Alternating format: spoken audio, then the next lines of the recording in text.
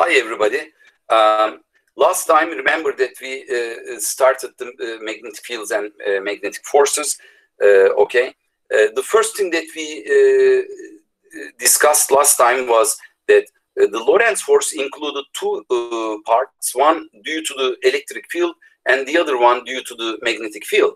And we learned that the magnetic force, which is this second term, is zero when the velocity is zero. But when uh, you have just charge around, uh, the electrical force is always there. But the magnet, in order to get the magnetic force, you need to have not only magnetic field, but also the charge should move in the magnetic field. Otherwise, uh, it experiences no force. So we, we learned that usually the charge uh, follows the magnetic field lines, but doing spiral motions. Okay, so if we look into a wire, okay, look into a wire, uh, suppose the charge is moving with some kind of velocity, v drift velocity, actually electrons are moving with the same velocity, but we assume that plus charge is moving just to make the calculations simpler. In this case, uh, the force on on on the uh, on the charge is given by QVB, okay, sine theta. If the, there is a magnetic field, suppose that this is the magnetic field given externally, applied externally applied magnetic field. In this case, we have this force uh, on uh, on this charge moving in the wire. Though, if the charge is feeling the force, maybe all the other charges are all feeling the same force, so that the whole cable will feel the force. This is really interesting. But now, what we would like to do is that uh, remember that the number density in a wire with a, a, surface area A and length L is given by number divided by the volume, right? Volume. This is number divided by A times D because surface area of the cable is A and the length is L and then the volume is A times L, obviously. So, sorry, this is L.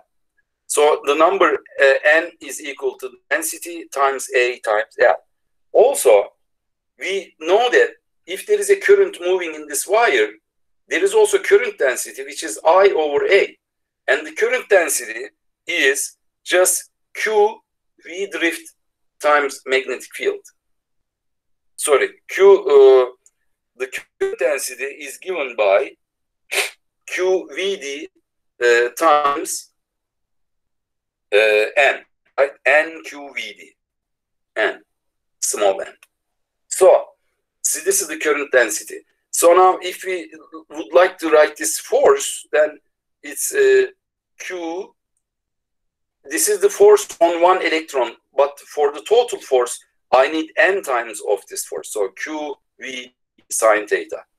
But uh, n is n times a l. So here I, I've written this again. Q V B sine theta is there. Q V B drift velocity, of course, sine theta. Okay. Now look at this. Q n times QVD is just the current. So this one, this one, and that one. The product of this is J. So it's J times A. L. What is the rest? B sine theta. From here, you see that G, JA is uh, just current because the the, the property is I uh, L B sine theta. But since this is a vector, okay, and sine theta shows us that this is the vector product, we can write this as F as uh, I L cross B. Okay, so this is the magnitude of this vector product. So uh, the force is uh, really perpendicular to the uh, the current and the magnetic field plane. This is what's happening. Now, look what happens if the current is this way and magnetic field is that way, okay, uh, I cross B is outside the page. So I'm not putting any vector sign, okay? Uh, L is also this way. L is that way. So it's not I, but L actually. But now, if the current is this way, for instance, and the magnetic field is downward, let's say, so uh, the current is this way, and magnetic field I cross B, okay, I cross B is, since this is, uh, I cross B will be this way. So this is force direction. So this is force or I cross B. So now what happens is that when you have this plane, this force will be perpendicular to that one, and this force will be perpendicular to this plane. Uh, okay, so always perpendicular, right? So now this uh, force, since this force is feeling uh, in upward force, the total uh, the total uh, wire will try to go up, okay, like this. It will be lifted. But here, this wire that is carrying this current will be uh, pushed to the right, like that, okay? So uh, always keep this in mind that uh, the direction of the force is always perpendicular to the uh, current and magnetic field uh, plane. So in this example, uh, of course, uh, when you have when you have a little segment of this wire, okay, then okay, then the force on this is given by dF will be given by just I times dl cross B. Okay, so now this is dl, dq inside dl. This uh, this dl vector is the unit vector, length vector in the direction of the current. And of course, there is a magnetic field somewhere. So in this case, a little force on this little segment is given by this thing. And in order to get the total force, you have to integrate. So F is just integration of I dl cross B. You know, this is something that uh, keeping, uh, it's, it's nice to keep in mind in, in solving some problems. And uh, by using this uh, property, we solved a problem in which uh, the current is flowing through this way and given value is 50 amperes and magnetic field is sideways magnetic field and the intensity is approximately 1.2 Tesla, which is a high magnetic field, by the way. And the angle that uh, this current and this current direction and magnetic field is making is 45 degrees, okay? And we assume that uh, it's about one meter. So the length of this wire is about uh, L equals one meter. So in this case, in this case, we, we see that uh, we see that the force is given by uh, I times uh, L B L B times sine theta, which is 45 degrees. So 50 times 1 meter is just 1 times b 1.2 sine of 45 degrees, or just pi over 4. In this case, we find that this force is just 42 Newton, 42.4 Newton. Okay? So what is direction of the uh, uh, force? It's this way, right? It's this way. So uh, basically, if you put these uh, things, uh, this is east, north, say this is X and this is Y, okay, Y, the magnetic field lies on the XY plane, as you see, XY plane, and now the force is in Z direction, this direction, always, because the plane is when the current and the magnetic field lies on. This is the table plane, and of course, I cross B is just going to be offered by using right hand rule because this is I and this is B, right? I and B. Okay, using right hand rule, we can see that it's upward. Anyway, this is, uh, if you write this as force in the, uh, vector form, it will be like that. Good. So now we, we saw that by 50 amperes, we can lift up to four kilograms, uh, okay? Uh, because this is kilogram Newton, uh, right? This is the force, not the weight. Uh, this is the weight, but not the mass. The mass that we can carry is going to be 4.2 kilograms with this. So now let's solve another problem. In this problem, we have this segment, okay? The current is going inside from this side and going through this loop and then going to the left. This is semicircle, okay? And the radius is R now, if you look at this uh, from this side, this is what we see, right? we see this like that. Okay. So the current is coming uh, this way and magnetic field now is in upward direction. Okay. Magnetic field is outside. Okay. Like this.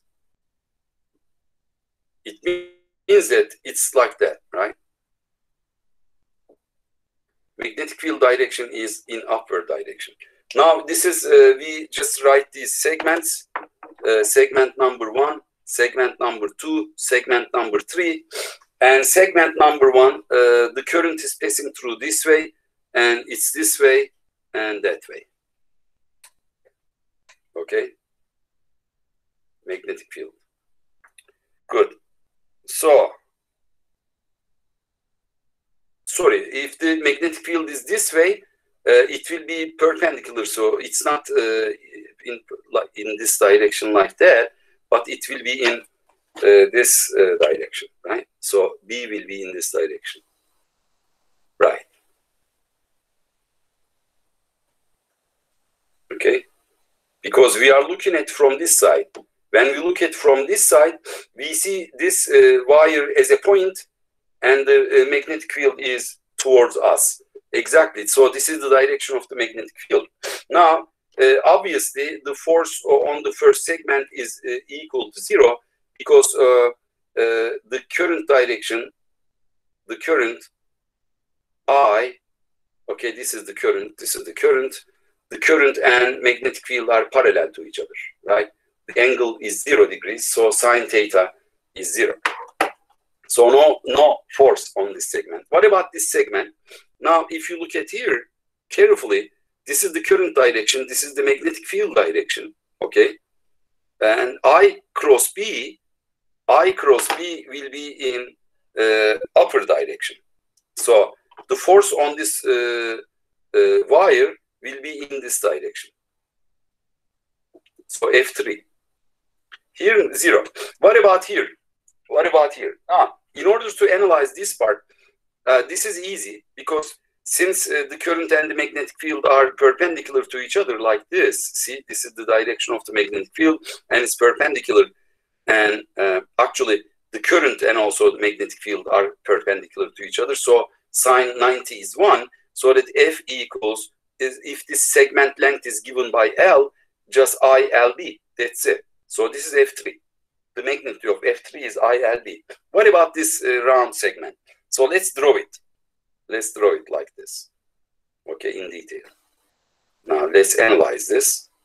Okay, so um, now if we put these x's like that, this is x, this is y, okay, then we have d theta here, dq, and then there is dl, small length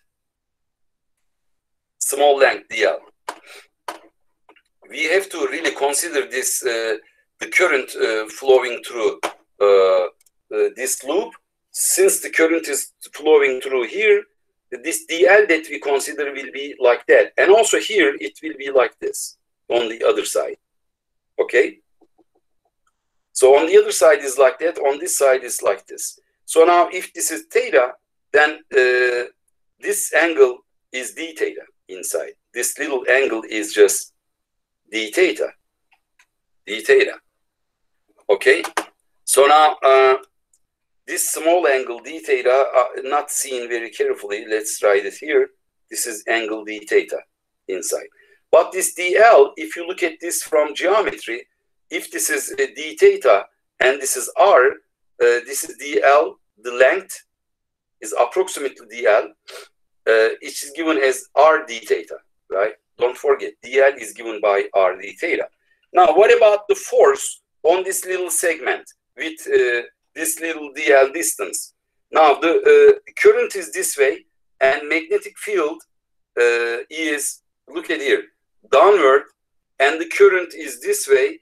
I, uh, no, this upward, I cross B is in upper direction, right? So so it will be like this. The force will be always central. Okay. So if we have this, we connect to center and this will be the direction of the forces always, right? So this will be df, df vector. Now df vector has two components, dfx, dfx and dfy.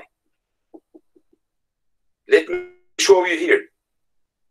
Here on this side, we have this force which has two components and on the symmetric part of it, exactly the same angle, we have this force and now upper and left components. As, as you see, the x components will cancel each other. Okay, so each point on the right side of this circle will cancel by the equivalent counterpart because of this. But y components will cancel, will survive. So uh, then we have to get y component, okay, which uh, dfy, which is just df times uh, be careful with the angle. Since this is angle theta, this is also theta. It's just sine theta, right? You have to multiply df by sine theta in order to, okay, in order to uh, get the total force in y direction. Surprisingly, this segment of the wire also has the force in y direction. So uh, what, what we will see is that the whole cable system will just try to go up. Although it's funny looking shape, it's not only in one dimension, you know, it's like on one plane, but uh, all these different directions just uh, appear. The whole system tries to go up in uh, y direction. But in order to get uh, fy in segment, uh, curve segment, you have to integrate this. So it's df times sine theta. But what about df? What is df? How can we write df here? It's just i times dl okay, times b. Remember that ILB, IDLB. But instead of DL, I write RD theta. So it's just I, R, B. Instead of DL, I write RD theta. So basically, it's just IB, R, D theta, but there is sine theta to be written first, and then D theta. Now, now angles, you have to be careful, because if you say that this is my angle theta starting from this part, it moves from 0 to pi which is 180 degrees from 0 to pi. So now this uh, integration, all the rest of the quantities are constant. You can take it outside and the rest gives you sine theta d theta, which gives you minus cosine theta. If you put these two limits, the cosine theta is minus 1 for uh, pi and 1 for uh, 0. And if there is a minus sign, you can subtract these two negative numbers, which gives you minus 2. And if you multiply by the minus sign, you get just 2. So this uh, geometrical factor just brings uh, about 2. So that uh, in the curve segment, Fy will be just 2 times pi BR. And then uh, this is in uh, curve segment. Okay, this is curve segment. Uh, but also we had this F3, which is ILB okay, in the y direction again. So the total force on whole wire is then written vectorally ILB plus 2IBR, okay, times uh, J unit vector, right? In, in, in Y direction. So this is the result, guys. Interesting. okay, now let's uh, try to understand force and torque.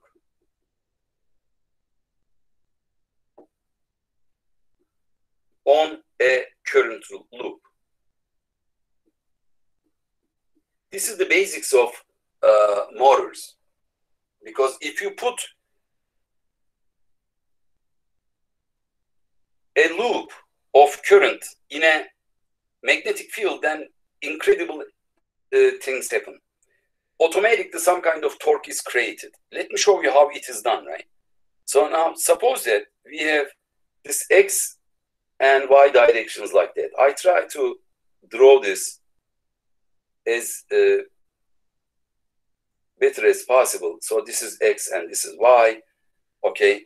And this is z z direction is this this direction x y z right obeying the right hand rule Z is not downward because X cross Y should give you Z, right? Good. So this is uh, the direction.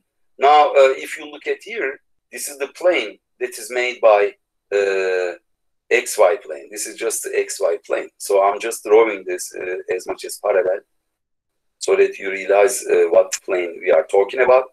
Now, we I would like to place some kind of loop on this uh, plane, but tilted a little bit like this. Okay?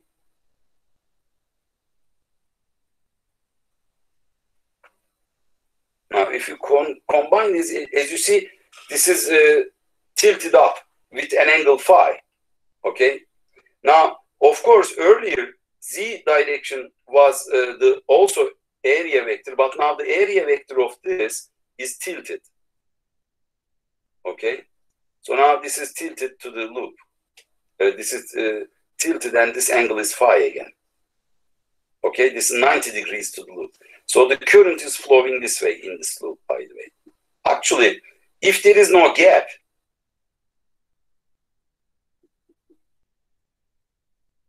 if there is no gap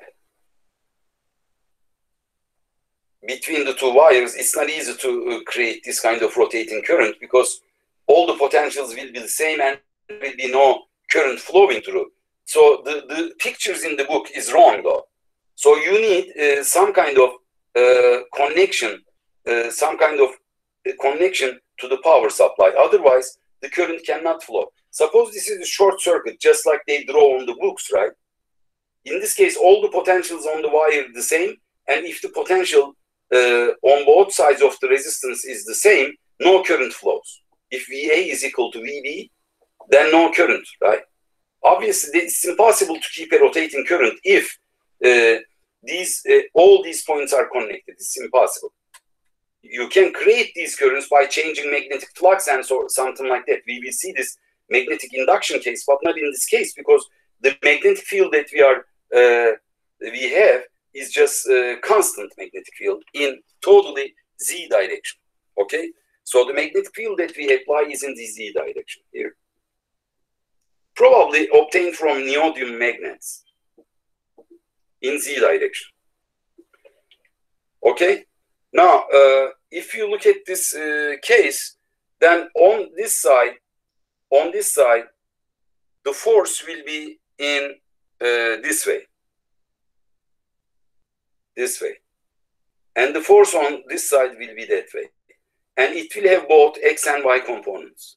Okay, this this.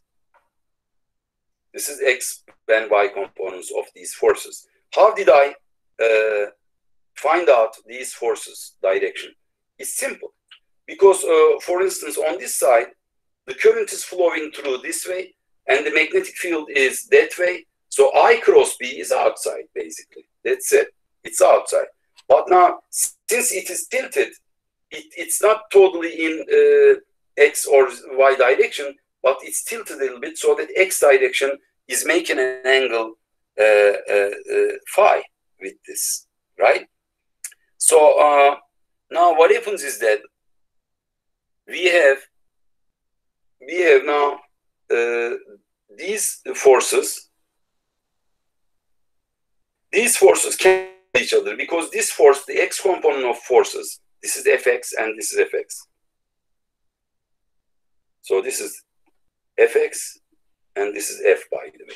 I'm just putting this f vector to the tip of this vector. fx is this way. They cancel each other because uh, this force is, is, trying to pull the uh, cable to the right, and this force is x component of this force is pulling the uh, cable, the whole loop to the left. They cancel each other. But what about this part? What about fy? So look at this fy, and look at this fy. Okay.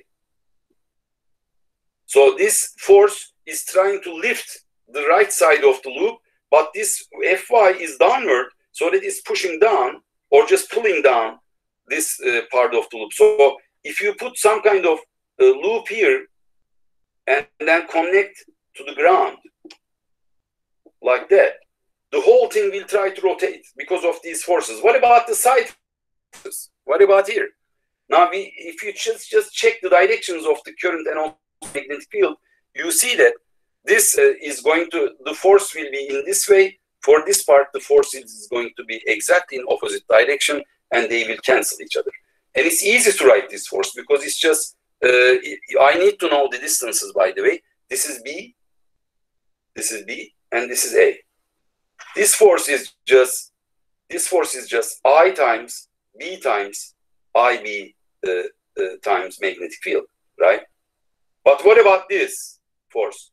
This force here is exactly IAB because the distance is A. So F here, F equals here IAB. That's it. But not the X and Y component. So I have to multiply this by uh, sine theta or sine phi in our case because the angle uh, happens to be phi instead of theta. Okay. So to get uh, the total force, okay, you have to multiply uh, in y direction, you have to multiply it by sine theta. So Fy will be equal to I A B sine alpha. Okay, so sine phi, sorry, theta, alpha, phi. Anyway, which one? Phi. Okay. So we have this uh, y component of the force. Uh, okay. IAB sine phi. But now uh, sine phi. So what about the torque though? So now let's look at here. Now let me draw a center line like this, through which we have these uh, this Fy and uh, Fy. So look at here. We have this Fy there and Fy there, right? This is Fy in the right side and Fy is in, on the left side at the center line of this uh, okay, of this loop that I will draw like that. So as you see, now we uh, we need to get uh, exactly 90 degrees of this in order to get the torque, okay, like that. So that this is Fy times uh, Fy times um, this is Fy, which is 90 degrees already, right? We, we found, right? This is it. This is 90 degrees already. Okay, we don't need to find any other force uh, direction because it's just the perpendicular. So what about the torque? Torque is force times arm length, but since this is B, this is just B over 2, right? B over 2. In this case, the torque is Fy times B over 2 from this one, and from this one, another Fy b over 2. But fy being this, okay, fy being this. So now, um, so as you see, these are the same expressions, so it is just fy times b, right? So torque is just twice as much as fyb over 2, which is fyb. Now, if you multiply this by uh, fy, you get a i times ab, because there was a, then I use b there, because I will show that this is just the area. Okay, so area, which is A, is equal to AB because this side is A. This side is A, basic, this area of this rectangle. Okay, rectangular loop. So A, there is B also there and also sine phi. Now look, this isn't this area. So torque is I, A, B, sine phi. Now, uh, we just assume that this is like a magnetic moment. So this is just a new definition, magnetic.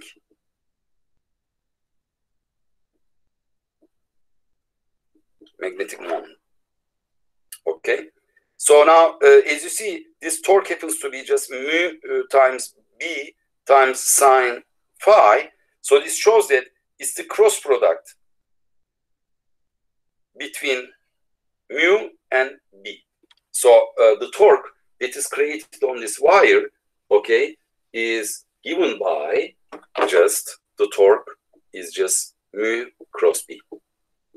It's, a, it's the cross product because there is sine phi there.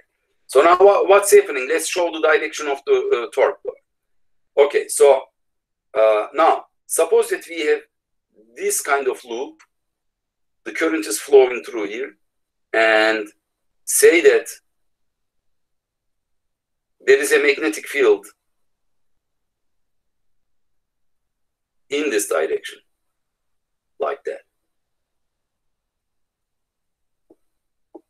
Externally created magnetic field. Somehow we put some magnets on both sides of this wire loop. Of course, the loop should have some kind of empty space so that it's connected to the barrier. But now, uh, the thing is that if there is a rotation like this, it will uh, now this whole segment will just go and uh, be perpendicular to the plane. Let me show you how it is done. Okay, like this. Suppose that we have this current like this, right? Current loop. I'm just drawing current loop like that. Okay, probably something here. Remember that it was not like that, but shifted a little bit. So now because of this force, this side will go up and this side will go down, and then the whole thing will be reaching this this uh, angle, and the angle will be totally uh, uh, uh 90 degrees. Sine phi is 90. Okay, this sine phi is 90 degrees, so it's a maximum torque. We have maximum torque there. Okay, but now uh, at this moment, at this moment we have maximum torque. But now what happens is that these forces that uh, pulls this right uh, uh, side up and left side down will be like this and like that. Okay, will be in upper and lower direction, right? It means that they will cancel each other, right? Right on the top. However, they cannot. Why? They cancel each other exactly true, but there is an inertia because this whole thing will move and then it cannot stop there because it has an inertia. It will go just a little bit side to the. As soon as it goes to the left side, it will feel again these uh, these forces. This one up and the other one down, and then they will be like that. So when perpendicular, we have this, and as you see, this will keep rotating, and then you will have these kind of forces. Okay, just trying to move the whole thing down. Of course, you have to really fix, put something here, and then maybe some needle or something like that, so that this, this can rotate. Otherwise, if the wire is just uh, sitting there, if you apply this force, it just does this, you know, it just goes to an arbitrary direction. But if you just fix this from from these loops here, this part, then you will you will create some kind of rotation like that, and it will be continuous. It's interesting, isn't it? So you apply a current, and there is a magnetic field, and the whole thing rotates. So this is the basics of motor. If you can create a stable magnetic field, probably using permanent magnets, and give the current to a uh, wire loop, then automatically some kind of force is created. Look at here. Look at here. Now, as you see, the current is this way and magnetic field is that way. I cross B, I cross B uh, is going to be probably uh, up or down depending on this side. Let's look at this side, for instance. Now, the magnetic field is this way, the current is this way. I cross B, uh, okay, uh, it's like this. I uh, cross B sideways. This is current actually rotating, but I'm just thinking this upward direction. So here the force is upward. What about this other side? The other side, now the current is this way and the magnetic field is that way and it's going to be the current, okay? The current is this way, but the magnetic field is that way. So I have to do this, right? Otherwise, I cannot really uh, get this direction. So on this uh, side, the force will be downward, but on this side, the force will be upward, as you see. So now, what happened? The resulting forces on both sides, or our side and also the, the other side, okay, front or back, okay, uh, the forces direction will be in opposite direction. Now, if we are smart enough, we can put some holders here and then rotate this uh, this uh, thing. But now uh, instead of putting, because remember that the total torque depends on how much current is passing through this. But now instead of this, I can put n windings like this. n windings, suppose n windings. n windings means this. Suppose that you run, this is number one, this is number two, number three, number four, is like that. So number of windings number of rotate, rotating, rotating wires. So if number of windings is there, the torque is nothing but equal to n times mu cross b. Okay, you have to multiply uh, the total torque on a, on a one single loop by number of n, which is number of windings. You can increase the torque. Wow, it's interesting, right? Instead of putting one uh, loop, you can put many many loops like this, and then maybe the first tip is here, and then after rotating this uh, on a maybe rectangular box or something like that, you know, instead of this round, you can uh, round this uh, these cables on a rectangular box like this, you know, right? Same thing, doesn't matter, right? Either curved or uh, uh rectangular, doesn't matter. So uh, after winding this, uh, you can just get rid of this paper or ca cartoon or something like that, or just keep it there because they are not magnetic. As far as you don't use any uh, metal here, then you can wind it to anything. Maybe like plastic or some paper, some other stuff, whatever. In this case, the whole thing will rotate, and this will. This is the basics of. Uh, this is the basics of motors. It's really interesting. And now, uh, in uh, this uh, example, uh, in in the example in the book, they say that the magnetic field applied is 1.2 Tesla, and the angle between the angle between the current uh, angle between actually it's the angle is not given but it, it's just uh, given uh, it's just uh, this way. So windings is this way and the magnetic field is th that way and number of turns is 30 okay? And the, uh, the current that they give is about 5 amperes. The current is 5 amperes.